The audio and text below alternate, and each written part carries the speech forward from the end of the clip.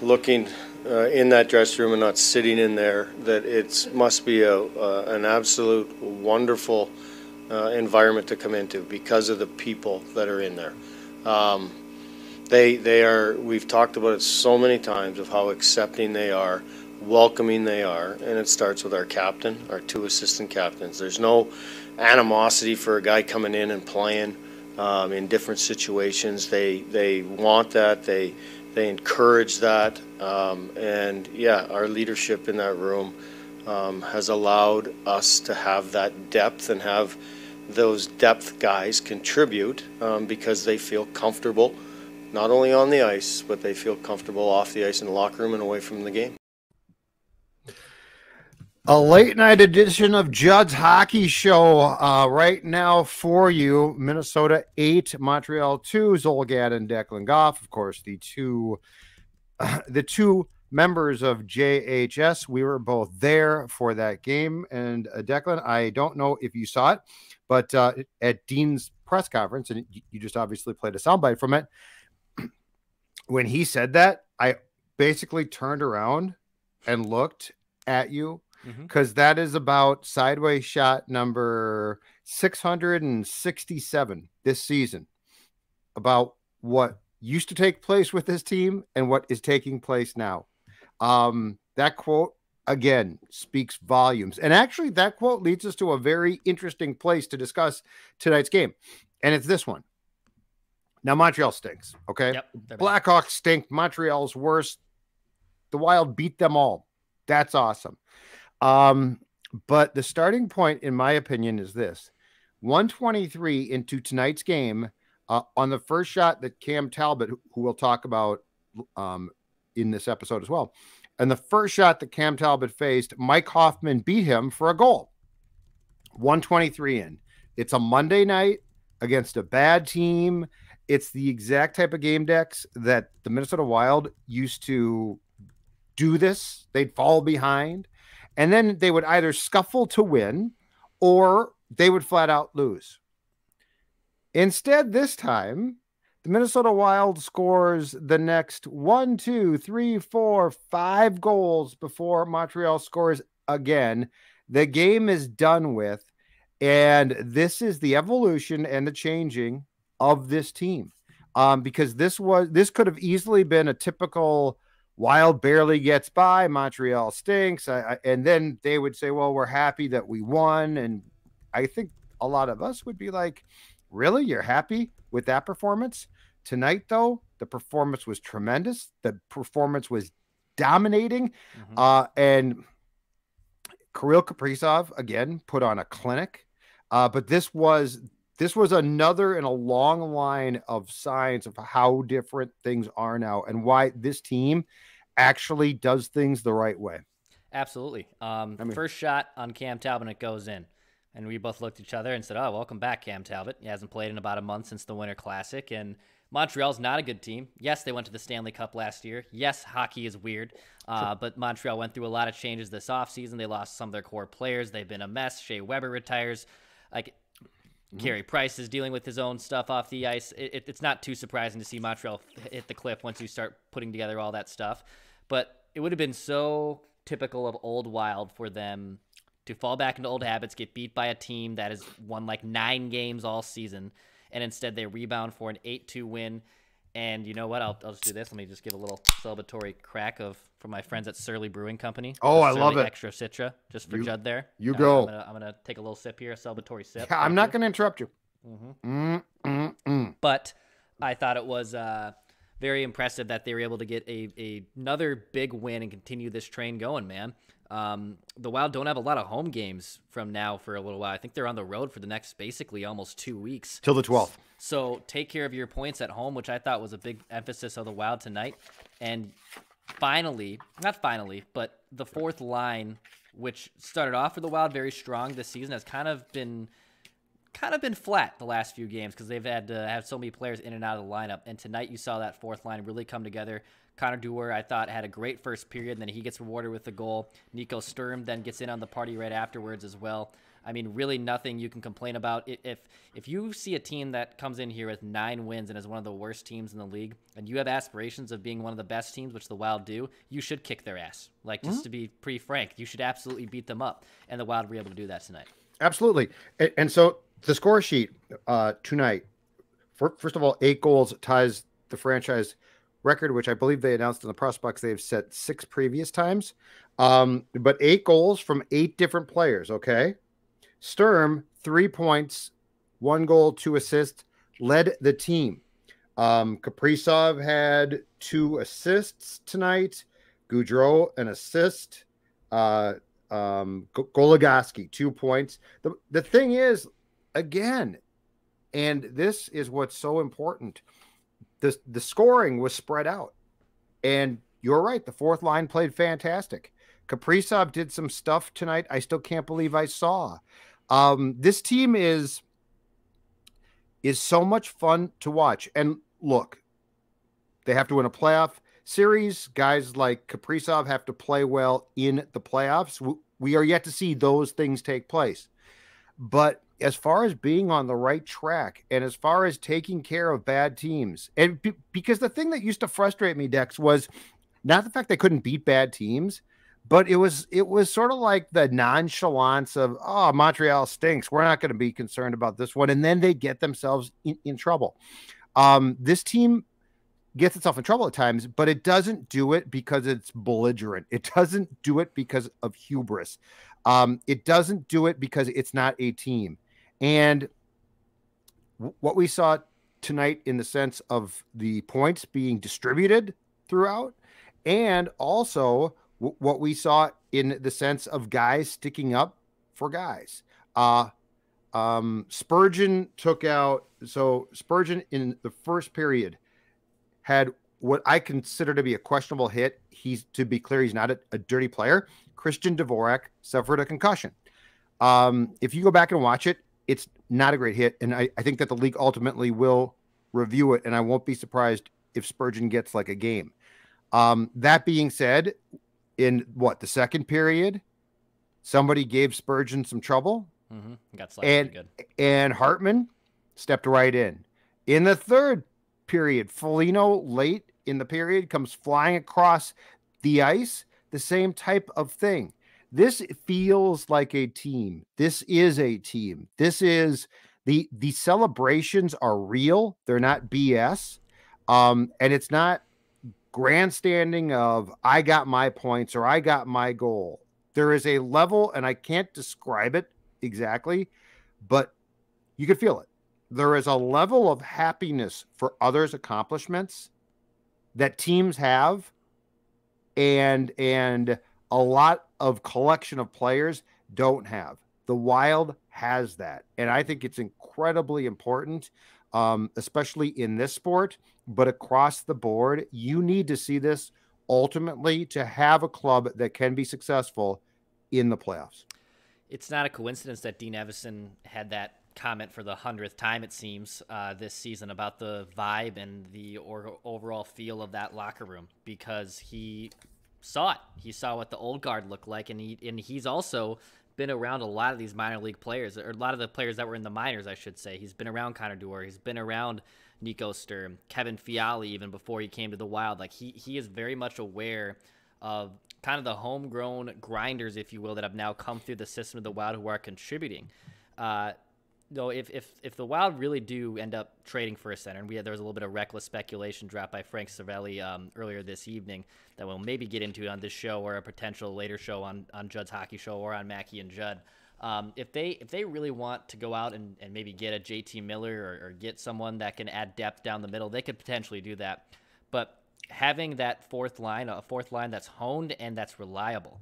Dean said in after two periods he was kind of surprised when he realized their ice time, right? Like he said, like, oh my gosh, we've only played those guys for six minutes. And, you know, at that point, after two periods, the Wild up handsomely, he knew that, well, we're going to ride them a lot here in the next 20 because why would we play our starters and play key players in, ob- in an obvious blowout game?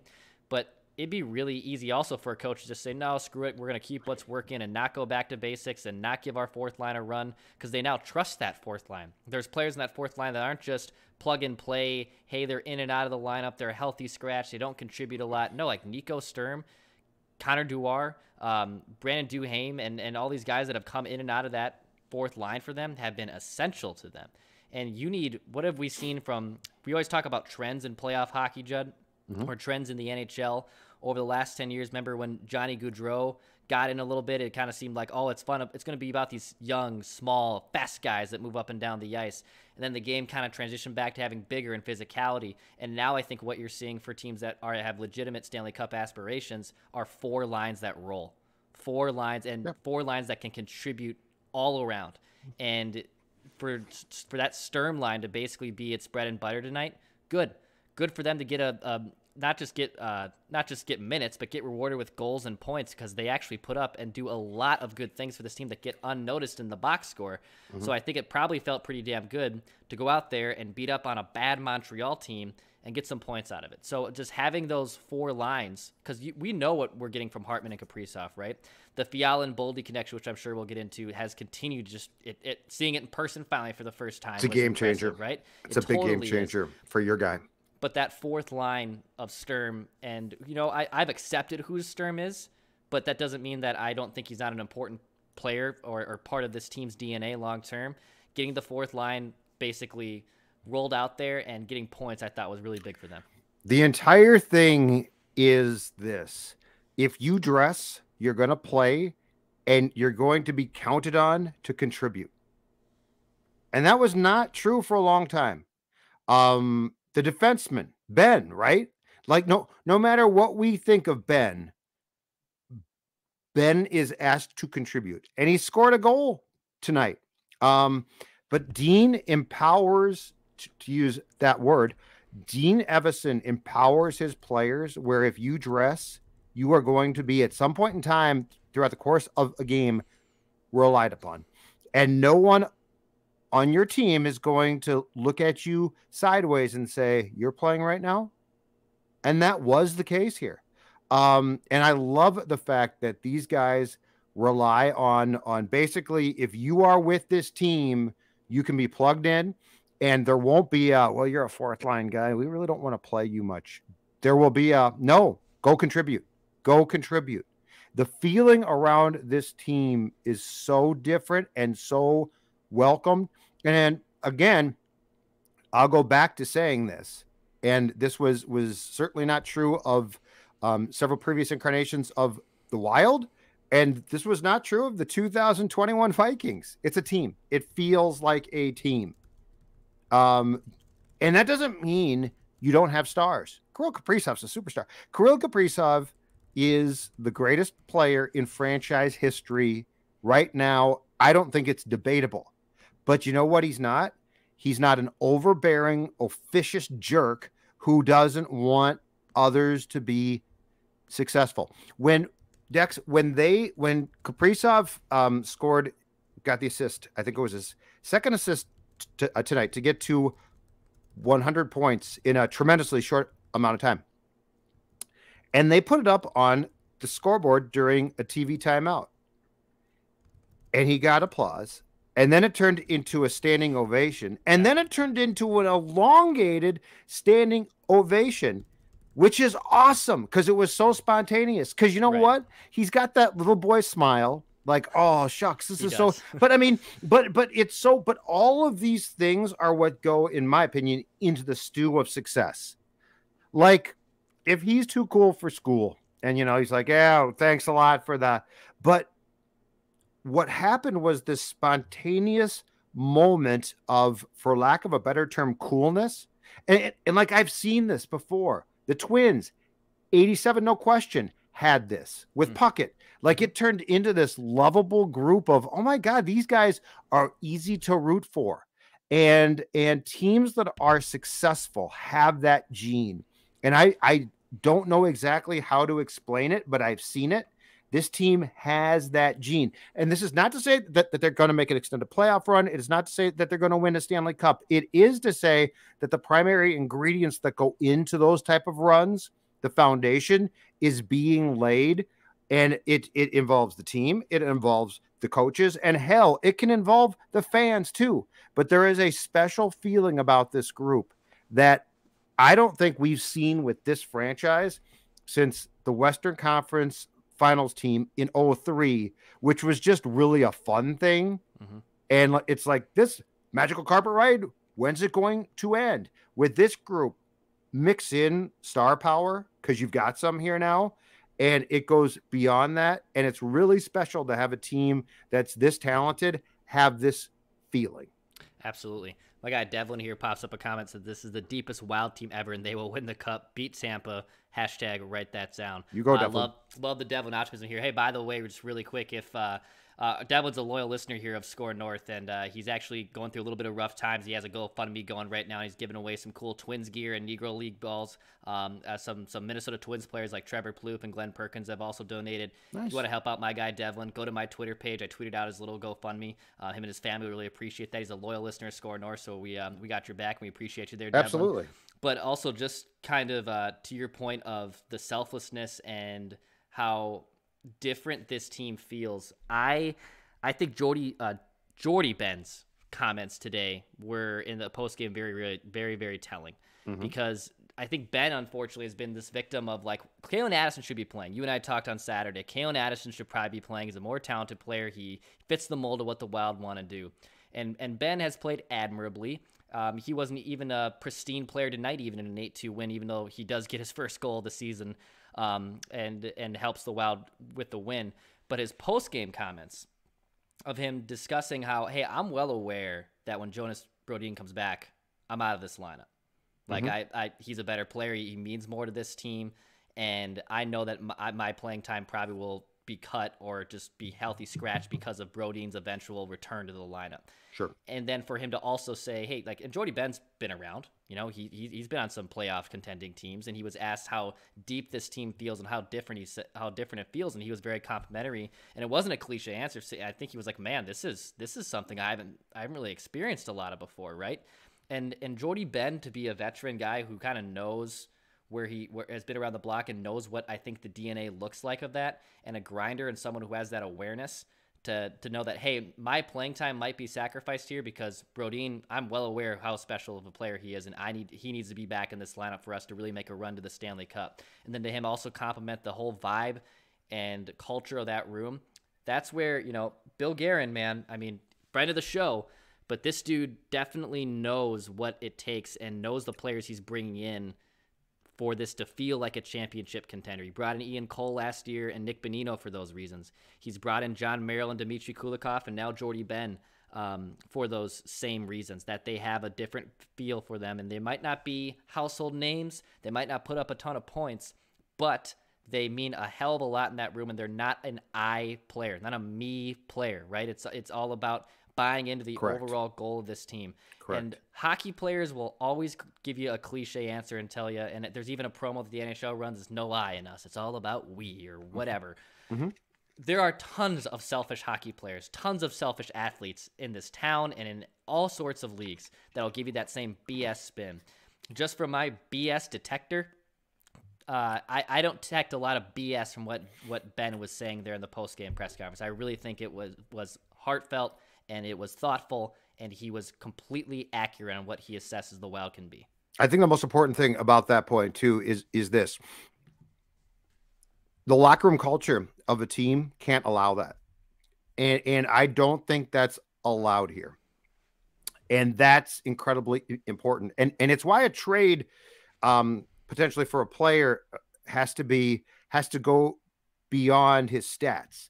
Um, Bill Guerin's built and Dean too, a locker room here that's really special.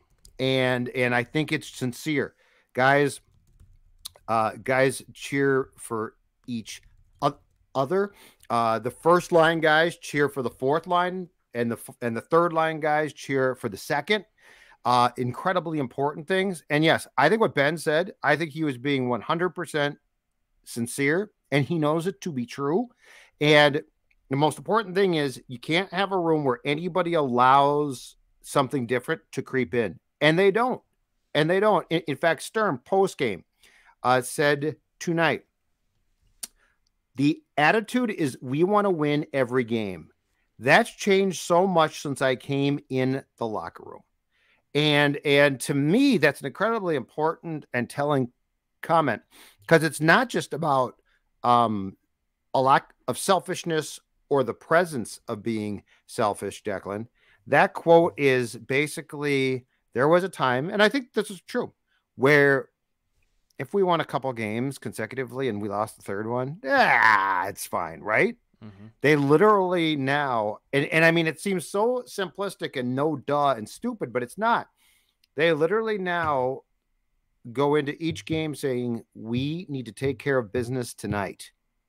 And and that in itself is so instrumental. And it's why you you can sweep the Blackhawks. And then on an arbitrary Monday night, in, in which you surrender a goal a minute plus in, come back and say, bleep this, five goals.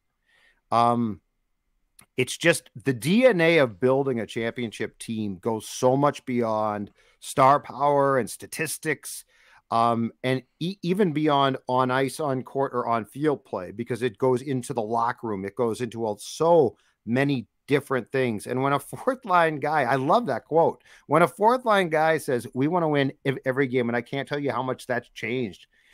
so important. Uh, what, what's your thought on Cam Talbot starting uh, tonight? According to Dean, uh, he tweaked he tweaked the lower body injury he had previously, which he suffered in the Winter Classic against the Blues. He could have played the third, but they were being cautious. And the last thing is, they said it's not the it's it's the same area as far as what's wrong, but it's slightly different, which I'm not sure I get completely, but I'm guessing it's something like a groin. So we were just talking about BS detecting. Um, mm-hmm. Judging from Evason's comments there, something's something's up here. Yeah. Some, something's wrong. Um, that's not to say that Talbot, uh, there should be a full on panic here. And I don't want to put words in Talbot's mouth or Evason's mouth, but just reading what Evason said about Cam Talbot's situation, there's cause for concern.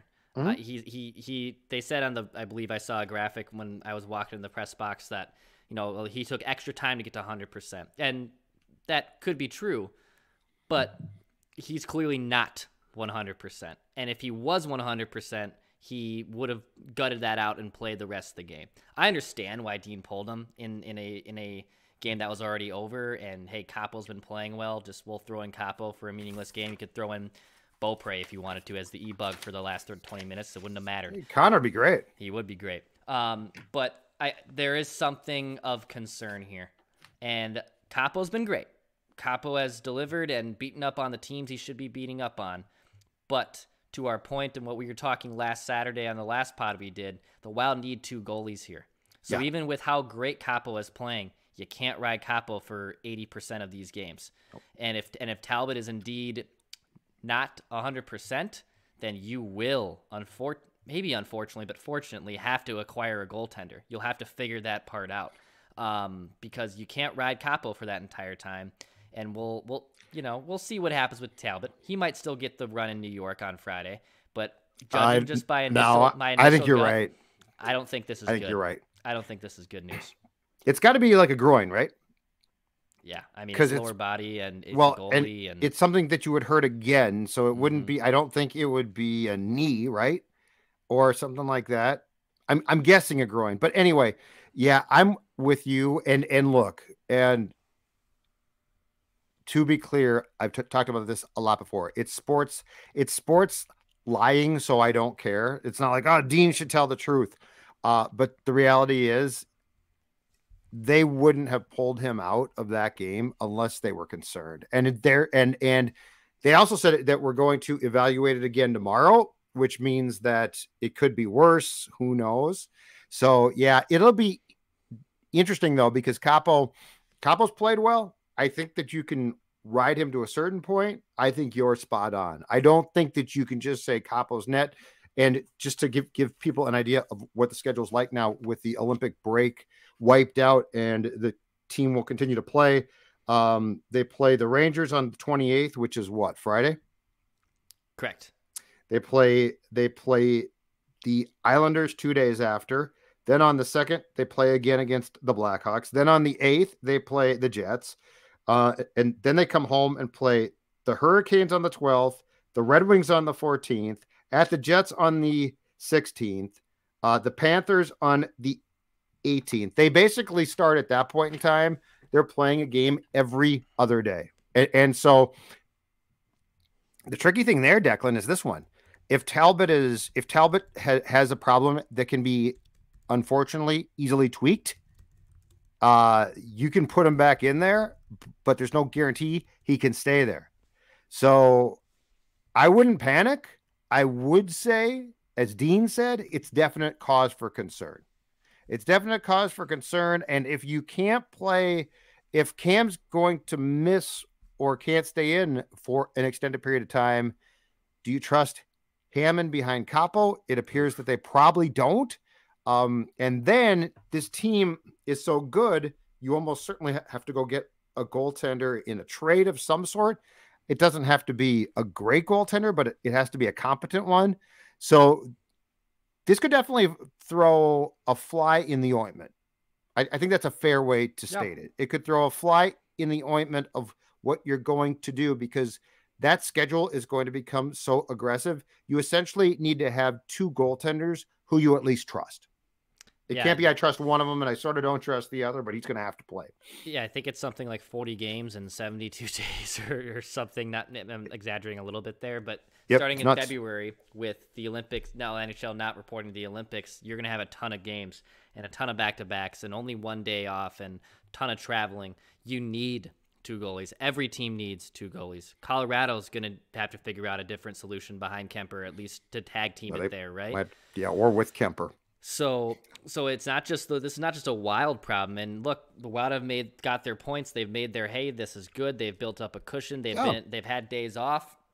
They've only played a few games over the last month or so. You'd like to see them play more, but they have the second best point percentage, I believe, in the West behind only Colorado. They've gotten points. They should be getting points. That's all good and gravy. I love that. But you can't be then just relying on Kaapo Kahkonen because, well, he played well over these last six starts. You can't and they won't. They can't. Uh, no. a, a Devan Dubnyk situation where he starts 39 they, consecutive no. damn. Those games. days are gone. No, those days are gone, Dex. You can't do that. So you have to figure out either is that Andrew Hammond? Well, God, I, I don't think so. I I, I think he would have played by now. Yeah. If they trust him at all, yeah. don't you? Yeah, and I know I, I see you know Jesper Wallstedt that that ain't it that ain't it either. And as, as much as, out, as, exciting that could be, no, that's not going to be it either. Yeah, don't um, trade him though, because I know that you've talked about trading him and you got a lot of pushback. And I appreciated I, the fact that Twitter came right back at you. Don't trade Jesper Wallstedt. But yes, he is not coming up. He's not going to be in goal for a few years. Tomas Hertl, I uh, I'd consider it. I'm not doing no, no, no. I'm not doing no. I would Stop. I would consider it. First round pick? Absolutely. Jesper Wallstedt? Wallstedt? No, I'm not doing that. Mm-hmm. Um, let's t- talk about the the chemistry that has develop between your guy Fiala and Boldy. But before we do that, let's talk about my weight loss. In fact, you want to talk about chemistry? Yeah. Chemistry between Judd Zulgad and the fine folks at Livea Weight Control Centers is fantastic. In fact, you know what? They are I'm the right wing, but they are the pivot. They are they are the linchpin to the fact that I have lost 30 plus pounds. And now I want you to join me on this weight loss journey that, that's been so great for me with the Livea, I did an eight week challenge where you get your first eight weeks for free. And I will remind you that in the first eight weeks, I dropped 26 pounds. So essentially, what I'm saying is by springtime, you can be down 26 pounds and not have written a check yet, not have made a payment yet. First eight weeks are free. 855 go L I V E A or uh, go online livea.com, L I V E A.com. And one last thing in town, you join them, you can go see them. But let's say that, that you're a fan of uh, JHS in California, right, Declan? Or Florida, oh, yeah. right. or Florida. Livea.com, consultation via Zoom. You can sign up, you can join. The consultations can just be, be done, as I said, uh, on Zoom and you can lose the weight from anywhere in this fine country. If you're a wild fan, take advantage. 855 go Livea, Livea, L I V E A dot com. All right. Now you, you gave me some grief in the press box, and I didn't appreciate it because I have always been a staunch supporter of your guy 22. But you are right. Kevin Fiala and Boldy. Boldy's presence takes Kevin from being a good player who seems to go through some tough times, partially because he lacked the, the quality of line mates that Kirill Kaprizov had, um, to now to now ha- having what I would call um, his own personal Zuccarello type. Yeah. And the difference in Kevin Fiala's game and play, and dare I say, engagement, is noticeable. Yeah. Uh, every Batman needs a Robin, man. Every Batman needs a Robin. Maybe need a maybe need an Alfred. I'm gonna go full nerd here. All these references are going right over Judd's head. Uh, maybe Matthew no Batman. needs Batman and Ro-. Robin. I get. and you got, I get. I you totally got get. Alfred too. I totally get Alfred. I don't think I get. He's the butler to uh, to, to Oh, I knew I knew That's- Alfred. I yeah. figured you were there. Yes. But now you're gonna lose me. Yes, but uh, I will say this is exactly what Kevin Fiala has needed. Fiala's been on fire too, by the way. Over the last nine games, he has points in nine consecutive day, uh, games here. He scored again tonight, and just looking at what they've done, Boldy and Fiala, that is on the ice, has been pretty damn impressive. Um, both Boldy has not uh, has spent the most time with Fiala this season, 72 minutes uh, so far. Both these two guys have been on the ice to, on all strength situations. Um, they have a Corsi for a 55% when sharing the ice, and this is again, this is five on five. This is power play time, so it counts for all the times these two dudes have shared the ice together. Um, their Corsi for is 55%, so when they're on the ice, they're out shooting their opponent. They have created six goals. They've only allowed two goals while on the ice, so you can make that as a plus four. So they've been creating more goals than they're allowing, and the deployment of them. I think this is an important statistic too. Fiala and Boldy have started in the offensive zone when a faceoff has happened 72% of the time. Okay. So, so, so when they are starting in an off in any of the zones, neutral, offense, defense, they are being deployed in the offensive zone because they're offensive playmakers that can complement one another. So the Wild are surrounding them in situations that employ their strengths. And this is exactly what Fiala has needed. Like Frederick Gaudreau is along for the ride a little bit right now. He's been their center mate. Yeah. But and and you and I have kind of watched the up and down battle with Frederick Gaudreau. We we thought at first at the signing like who is this slappy as we love to say. Like then we kind of said, you know what? He's got some speed. This guy's not a slappy. We've kind of now I think morphed into the middle ground of all right, we he's not a slappy, but he's not anything special either. Right. He's a guy. He he's helping out this team. That's fine. Yes, sir. Now, can you plug and play him and put him with two dynamic wingers in Fiala and Boldy? And Fiala and Boldy don't necessarily need a facilitator between the two because they're both playmakers themselves, right? So it's not to say that Correct. the And Bol- irrelevant because that's not true. Victor Positionless Rask- hockey. Yes. I love where you're going. Vic, Vic, Victor completely. could be a detriment between these two. However, Yes. Fiala and Boldy have complemented each other's skill. Fiala was so stuck in a rut for the first 25 Because 30 he games needs here. he needs he needs someone to set him up. yep. he doesn't have the ability to make plays by himself consistently. And Boldy, eye test wise, finally seeing him in person, the dude is a strong skater, moves Ox. up and down the ice. Yeah, I mean an ox. That is that's a good way to look at it. Love it. and and and Fiala has dynamic ability and just needs someone to help him out a little bit. I, I don't think Boldy is necessarily going to. At least at this point in his career, I don't know if Boldy is going to be a defensive stalwart and be a, a, a solid or a high end, I should say, two way player. I don't know that yet, but he definitely is not a liability defensively. You know, I think his skating helps him make up for that. And just in general, though, he's helped kind of take this pressure off Kevin Fiala. That might be, and that's probably the, that's an unquantifiable thing. It's helped taking the pressure off Fiala to do too much. So, in my opinion, Boldy's skating is probably his his weakness. I mean, it's not terrible, it's not great, but here's a strength, and this is this cannot be taught. I think if you did a poll of the Wild's current roster right now, Boldy's hockey sense is top five easily. It might be top three. His hockey sense is off the charts. He he doesn't get to places b- because of, of his skating. He gets to places because he sees the play a tick faster than most, which is an incredible attribute. And it allows him, I think, to get to spaces um, to set Kevin up that works perfectly. absolutely. And and I will give you a hot take. I, I got a hot take for you. Okay. And I I'm still on the fence if this is going to take place.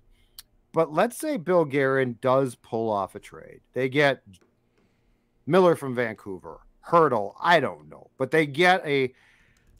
I think the assumption is Hartman's out. Hartman's out, and I don't think he is. I think if they pull off a trade, the center gets put with Boldy and Fiala because Hartman, Zuccarello, Kaprizov works yeah. really well. Yeah. And I don't think that you need to mix that up. Um, I also think that Dean, I, I think Dean is not interested in screwing with things that work. Cause because he was finally basically persuaded. And look, we talked about this too and, and agreed. He was persuaded you got to put Ek with Kaprizov. He's your best, he's your best center. You got to do it, right? Um, and he was always like, but I want, but I like Ek with with Greenway and Foligno. And he finally moved him, right? And it didn't really work out too great. It, it, didn't work out. So I think if if Billy Guerin pulls off the trade that we've speculated about, I actually think Gaudreau is out, mm-hmm. and and the new guy is because if if you put a center like a real one with that line, you're now essentially going to roll a top six that is two number one lines. I don't, and and I think, I, and I think unless Hartman goes into like a prolonged funk, which I don't see, I don't think that it makes sense to say, well, we we got this guy and Kaprizov's our best player, so we've got to put him with Kirill and Mats. I think it makes more sense to to say putting Boldy and Fiala together basically took Fiala's game up a notch. Yep. What if we put a center who was a definite upgrade on Gaudreau with those two? That's a top line, essentially, Declan. Yeah, I mean, I, I, wouldn't even necessarily call it a hot take. I think it's an accurate take. Um, I, I, think it would make the most sense. To, you're not going to screw with the Jack line, which has been your kind of shut down defensive line, who had a it great night tonight, and, and it, just it, just works. works and they work their it. ass off. Hartman, Zuccarello, Kaprizov, barring an injury, is is solidified and fine. But you would do it to make yourself deeper and to unlock even more of Fiala and Boldy. Like if, it, if it's JT, let's call it JT Miller. Let's call it JT Miller. That all of a sudden, like the Wild have a very exciting, not just top six, but top nine. Like G- Gaudreau yep. goes into the press box by default, not because of his play necessarily. Or Sturm gets traded. Or Sturm gets moved in that deal, and Gaudreau, Gaudreau goes to the moved. fourth line. I could. I don't think anyone's going to want Gaudreau. I think someone might want Sturm. That, and that could happen. I can see that too. But I mean, but, you got, but but you're gonna have to pay a price of some sort. Yeah, and it just basically look the JT Miller idea is Miller is under a fairly reasonable contract, so that that's why that makes sense. Another one and and I think you and I will probably do an, a rec because now that Cerbelli threw this out, you yeah, I think we need to do get a separate um, reckless speculation yeah. episode that we'll probably do even inside this one too. But we'll probably do even a separate one to explore all these. Yeah. And by the way, if you're watching this, hit the subscribe button on our YouTube channel for daily Minnesota sports entertainment and reckless speculation, which we love to so specify much. on on the Wild, on the so Wolves, much. and so much on the Vikings. Um, so hit the subscribe button if you love this kind of content. Uh, another one who I'm curious because this team's reeling and even though he's a rental, I don't think he's going to be. I don't think he's going to get a. The other team that is trying to trade him is not going to be able to get the haul that they want for him. Claude Giroux. Yeah, he's out. Yes, that that name, that name is out there. He will, I think, be moved. Billy Guerin and Chuck Fletcher. Are you saying? Mm-hmm. Yeah, I could see that and Giroux uh, just and Flyers are a mess. Here, here's the X factor part that we can come up with these fun trades that we love to discuss, and fans, yep. I know, throw some out as well. But the fun part uh, that Guerin gets to figure out is is this guy an actual leader? I think Giroux is just from just from what he's been able to do in Philadelphia for a long time. That's a hard place to play. Phillies has kind of been stuck in the mud for the last few years. Um, What's his went, contract at? He's been to a cup. He's uh, he's a free agent this year. He's a okay, he's so a rental. yep. So, well, I'm not saying the WoW can steal him because they can't just not no. give up something of of significant uh, of a return because the Flyers are going to want something back. He's costly. And the yeah, the, the problem is is AAV is 8.2. Um, now I don't think that's exactly 8.2 because you played out half the season, so like there's occurring salaries here, so they'd have to still swap out some money. But that is someone who I'd also keep an eye on on just reckless trade ideas because the Flyers I love are a that. mess. Fletcher That's could be great- Fletcher and Yo. Everyone could be blown out there any Oh, they're gone. to be completely honest. They're not they're- going to be there long term. Nope. Um, that is another name I would keep an eye on if I'm if I'm a Wild fan. Claude Giroux, could you make a trade work for someone like that who has been there, done that, a veteran um, that the, could probably really help the Wild? He's 34 years old, but if you're gonna go all in or do something just for one year and not pay the piper long term, Yes. Claude Giroux would be that guy. And I, I think he is a more realistic name and target than Hertl is. Um, Yeah, I more- think you could get him for a. I think he'd be costly. Giroux would. I don't think you would have to break the bank. Hertl, I think you would probably have to break the bank. And here's the thing: I don't think Bill Guerin will. So, so Giroux actually makes m- more sense. And I also think that Giroux, um, is is a guy that is probably a guy Bill Guerin appreciates and likes. Like to me, that to me that name probably makes the most sense. Mhm. Hur- Hertl's going to be so expensive, and I don't think Bill is going to give up the farm to get him. Um, I do think that a first round draft pick could be in play, and if the Flyers got Giroux, um, you know, take your pick. A guy like Sturm back, another draft pick, perhaps. I think that that could get that done. I think if you traded, I think if you tried to get Hertl, Dex, the price tag would be a little bit too steep for for perhaps even you. Yeah. For Claude Giroux, I think you could probably you might not be super pleased with, with what you would have to give up, but I think you could deal with it. And and look, if you plug another, especially the right guy, if you plug a, a center in with Fiala and Boldy, you're going into the playoffs potentially in great shape. Mhm. Like I, I hesitate to get too excited here. Um, but you know, keep in mind, as the Wild learned against the Golden Knights last spring, the playoffs are a different animal completely. Like teams shut you down, they they make your life miserable. Kaprizov. So if you could throw out two lines that can score, that starts to shift things a bit. Because what we know is this: if you throw out one line that can really score, and then and then it's um it's Gaudreau and Boldy, Fiala, and perhaps they can score, but you're not quite sure. Like it gets to be dicey. But if you can go six deep of guys and say, "Bring it on, Golden Knights," or or Team X, Y, or Z, that changes things. In fact, before we're done though, I mm-hmm. want to tell you, Dex, and talk to you about line mates that we know here at SKOR North work. Oh yeah. And I'm talking about I'm talking about the support that you get when Chill Boys are are your teammate. Talk to me about Chill Boys and your experience with what I will tell you right now, in my opinion, first line center when it comes to long johns and boxers. First line center in a 200 foot game. There is no pun in that. It's just a 200 foot game that Chill Boys gives me. It, it's a it, it provides me comfort. It, it's it's it's it's two ways. It's in the defensive zone. It's in the offensive zone. They keep you comfortable whether you're on the penalty kill or the power play, or you're just playing five on five hockey. Yeah, Then that's the Wild love to play five on five. They score a lot of goals five on five. So whether you're mhm. trying to score on the power play, penalty kill, or five on five, let me just tell you, you want the support of Chill Boys because the performance brand or the bamboo brand, wherever you want to dabble there, is going to give you the most comfort and provide you the most infrastructure you need down there to help you out. Chill Boys MN. Judd loves them. Judd wears the long johns all the time. He, he claims Oh, he's a basketball player now. Yep. Chillboys.com, place to go. Final thoughts, but before we wrap up this edition of Judd's Hockey Show, my good man.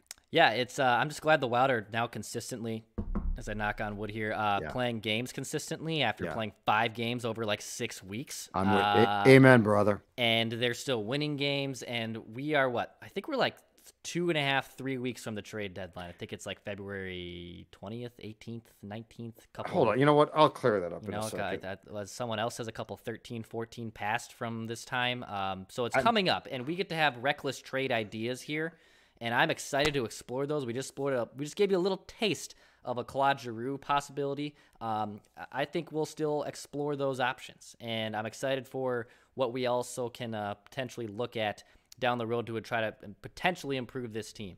And if you want to get deep down the middle, you're going to have to give up something. But I am curious what the Wild could potentially do to do that. And it, it's just beginning here, baby. This is this is only the beginning. Yes, we don't want to get too far ahead of our skis. We don't want we don't want the Wild uh, to be putting in the existence that they're already going to be a lock to make the Western Conference Finals. I want to see them make a deep playoff run. I think they have the tools to do so already. But do you want to put more ammunition in that chamber? I'm excited to see what Bill Guerin has up his sleeve over the next few weeks. Agreed completely. A trade deadline Monday, March 21st. So it's Monday, March, oh, March. 21st. So we've got we got we've got a ton of time for our favorite thing here at SKOR North, reckless speculation. All right, take us home, sir. Yeah, no problem. If uh, you like what you're hearing, hit the subscribe button on this YouTube channel for daily Minnesota sports entertainment. That's Judd Zulgad. I'm Declan Goff. Sans Phil Mackey, the hockey whisperer, too, by the way, who still does deliver some hockey. He'll weigh in tomorrow. Yep, I think he might have some takes. I think he might have some takes. And if you're a football fan, because the Vikings season, even though it might be over, the next era of Vikings football will be starting any minute from now. Head on over to our Purple Daily YouTube channel for daily Minnesota sports entertainment. The Rhino, Alex Boone, former Minnesota Vikings offensive lineman and Super Bowl guard, uh, will be joining us tomorrow for some fire football takes. So if that's your jam, head on over to the Purple Daily YouTube channel and the SKOR North app is a central hub for everything we do at SKOR North. Judd's written work, our audio work, everything is right there for Judd, for myself, Declan Goff. Goodbye. We always wrap the show with our friend of the show, Billy Guerin, to take us home. Listen, you guys know what this is all about, right? Right? What's it all about? Spurgey? Hard work and having fun. that. This is about winning.